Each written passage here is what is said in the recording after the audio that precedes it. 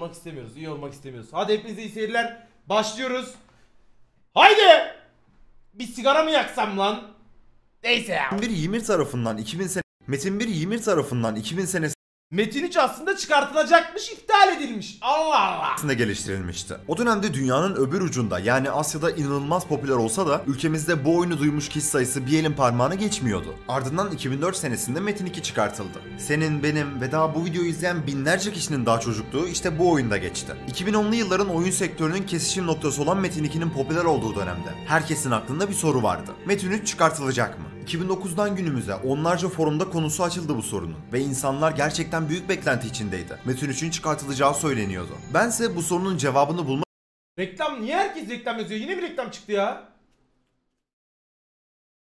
Reklam bitince haber verin ya. Öyle devam edik şimdi adamlar izleyemeden şey. Edile. Harbiden herkes o adamın nickini biliyordu. Acaba ne yapıyor şu an Edile? Geçti mi reklam? Bekleyin geçer şimdi. Bitti mi? Tamam başlatıyorum. Başlattım. bulmak istiyordum ve araştırmaya başladım. Gelin size Metin 3'ün hikayesine ortak edeyim. Hadi bakalım.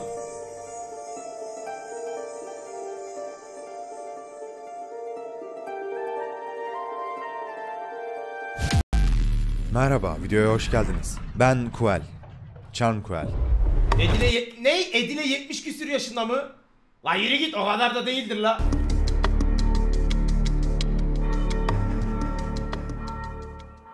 Bu videonun destekçisi MSI'ye teşekkür ederim. Bana yolladıkları tüm ürünlerin detaylarına videonun sonunda değineceğim.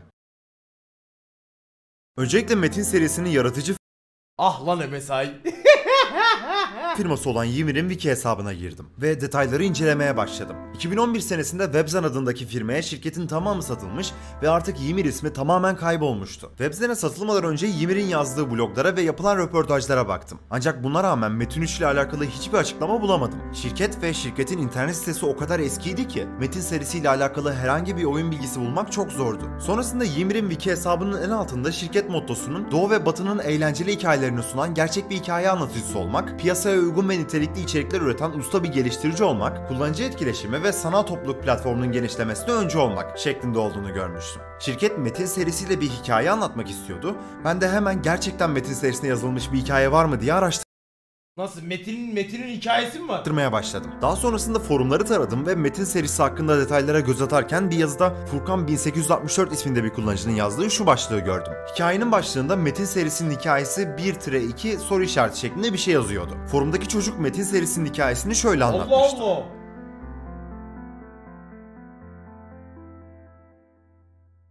Naipan adındaki kıtaya düşen 8 metin taşının dünyaya yaydığı kötülüklerle başlıyordu her şey. Neyse ki bu 8 metin taşı o dönemin kahramanları tarafından kırıldı ve bu kahramanlar o dönem kendi krallıklarının başına geçmişlerdi. Ancak bu 8 kahraman kendi aralarında büyük bir üstünlük savaşına tutuştu ve Metin 1'in hikayesi bu noktada son buldu. Yani o başta anlattığım Metin 1'in hikayesi tamamen bundan oluşuyor. Devamındaysa Ymir Entertainment Metin 2 adındaki 3 boyutlu yeni MMORPG'sini çıkarttı ve bu oyunun hikayesi de kısaca şunları anlattı. Metin 1'deki savaşı kazanan kahraman Lee Soap'tu. Ve bu adam Lee krallığını 170 yıl boyunca refah içinde yönetti. Bu Sen kimsin lan? gördüğünüz Metin 2 haritası krallığın ta kendisi. Ayrıca Metin 1 arşivinden çıkarttığım kıta görsellerinde tahmini olarak krallıklar tam şu bölgede bulunuyor. Ancak günün birinde Lee Soap'un krallığına gizemli ve kıtaya çakılmış en kötücül metin taşı düşüyor. Ve Naipan kıtasının tamamındaki hayvanlar ve toplumlar bilinçlerini kaybedip deliriyorlar. Bu şeytani metinin etrafında bulunan topraklar çoraklaşıyor ve kıtlık başlıyor. Bu korkunç olaydan sonra yönetim bölünmeye başlıyor. Lee Soap ise tüm gücünü toplayıp kıtayı kurtarmak adına tüm Naipan kıtasını istila eden bu gizemli güce saldırmak için o dönemin en büyük ordusunu kuruyor.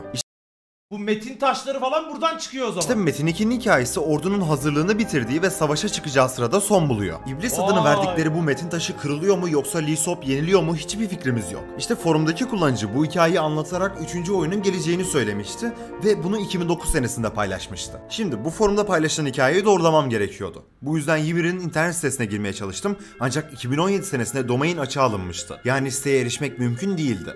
Bu yüzden web arşivi kullandım ve eski senelerin kayıtlarına ulaştım. Kapatılan domain yimirgames.com'du. Bu linki arattım ve Yimir'in sitesinin 2009'da yedeklendiğini buldum ve giriş yaptım. Bu siteyi incelediğimde iki oyunun da hikayesi tam olarak önümde yazıyordu. Yani çocuğun anlattığı hikayeler site tarafından Allah, doğrulanmıştı. Doğruymuş, doğruymuş lan. Ayrıca resmi sitede Aleykümselam. 2004'te yayınlanan yazılarda Metin 2'nin devam oyunu olduğunu şu yazı açıkça kanıtlıyordu. Daha sonra web arşivin tüm kayıtlarına baktım ancak Ymir Entertainment internet sitesi konusunda bayağı amatör çalışmış ve sitesine devamlı güncelleme yazıları atmamışlar. Biraz daha gezindim ama daha fazla bilgiye ulaşamadım. Son olarak siteden çıkarken altta iletişim kısmına tıkladım ve orada gereksiz bir detaya denk geldim ama ilgimi çekti sizinle de paylaşayım dedim. Ymir Entertainment'ın o dönemki binasının konumunu gösteren şu Google Map haritasını gördüm. Ve 2009 senesinde oyunun en popüler olduğu dönemlerde Google Map yedekleme almış. Yani eğer 2009'da Metin 2 oynuyorsanız şu anda gördüğünüz resimde o insanlar siz oynarken oyunu geliştirmeye devam ediyorlar. Vay. Aa 2011-2013'te Metin 3 denenmiş. 2012 senesine geldiğimizde Ymir ve Webzen ortak bir açıklama yaptı ve artık iki şirket birlikte çalışacaktı. Ayrıca Ymir'in ismi Webzen Ymir Games olarak değiştirildi. Bu olayın ardından Metin 2'ye hızlıca birçok güncelleme geldi ve oyun tekrardan şaha kalktı. Metin 2 için durumları düzelten Ymir, Webzen'le birlikte güçlendi Peki neden bu fotoğraf? ve yeni Metin oyununu yapabileceklerini düşündüler. Bu sırada az beğenili Facebook sayfalarından Metin 2 karakterlerine ait olmayan konsept tasarımları paylaşmaya başladılar ve şu anda ekranda gördüklerinizin tamamı Metin 2'ye ait olmayan yeni canavarlar ve bossları içeren konsept tasarımlar. Bu tasarımlardaki yaratıklara verilen isimler Metin evreninden olduğu için o dönemde bir sürü kişi bunların Metin 3'e ait olduğunu anlamıştı. Ki o dönemdeki Metin forumlarında ve Metin 2 sayfaları Bak şunun şunun tipi çok iyiymiş. da bu yeni tasarımlar başlığıyla paylaşılmıştı.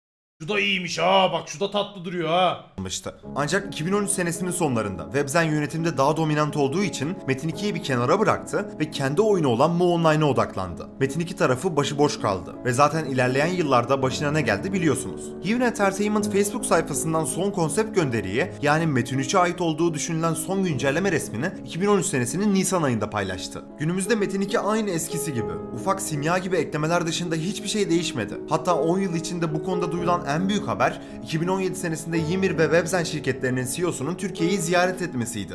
Bu ziyarette büyük bir proje konuşuldu ve insanlar bunu Metin 3 zannettiler. Ama sonradan açıklandı tabi bu Webzen'in farklı bir MMO oyunu içinmiş. Bu ziyaret sırasında Metin 3 başlıklarıyla YouTube üzerinde yayınlanan Inferno ismindeki yeni bir bağımsız MMO'nun tanıtımı yapıldı. Ve bir sürü Metin 2 kanalı bu oyunun videolarından Metin 3 diye bahsetti. Ama oyun o kadar vasattı ki koyulan grafik efektler 20 yıl Ahmet hoş geldin önce kardeş. çıkmış Metin 2 ile bile yarışamıyordu. Metin 3 ise bırakın Metin 3'ü. Metin 2, Metin 1 dahil tüm serinin hiçbir oyununa uzun zamandır hiçbir güncelleme yapılmadı. Hileler içinde çürümeye bırakılan Metin serisi yeni oyununa kavuşamadan toprağı gördü. Ama olsun. Yaptığım bu araştırmada 2009 senesinin dünyasına geri dönmem gerçekten garipti. Özellikle Metin serisinin geliştirici şirketinin bulunduğu sokağa gezmek gerçekten tarif edilemez hissettirdi. Kısaca Himir'in forumlarında yazılan Metin serisi hikayelerine ve yapılan tasarımlara göre bu oyunun Şey 3 geçe 3 geçe. çıkartılacağı şirket planlamasında neredeyse kesindi. Ama emin olmak için o dönemlerde Ymir'de CEO'luk yapmış olan Sang Woong Lee ismindeki kişiyle görüştüm. Bana hikayenin büyük bir kısmının doğru olduğunu söyledi. Metin 3'ün planlamalar aksamasaydı yapılacağının haberini verdi. Ah Ancak lan. bu hiçbir zaman gerçekleşmedi.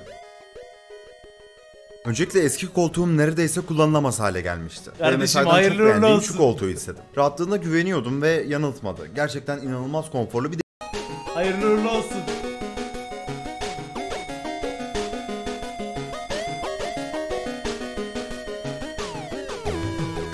Yani Metin 3 çıksa oynar mıydınız? Oynar mıydınız Metin 3 çıksa? Bir yapacak oğlum adam reklamını. Niye yapmasın adam o kadar emek veriyor. İlla ki sponsor olacak yani. Yok evet hayır. Hayır oynamaz mı? Herkes bakardı bence be. Bir denerdiniz oğlum denemez miydiniz? MMORPG severlerden bahsediyorum. Ben bile bir denemek isterdim. Bak MMORPG hiç o kadar şeyim yok. Hırsız polis oyununun adı Super Haste miydi öyle bir şeydi. Bence de herkes bir denerdi ucundan. Ucundan bir denerdiniz Johnny. Metin 1, Metin 1 varmış ya. Metin 1 diye oyun varmış. Onun zaten hikayesinin devamıymış Metin 2. Metin 1'i çok az kişi biliyormuş yani anladın mı?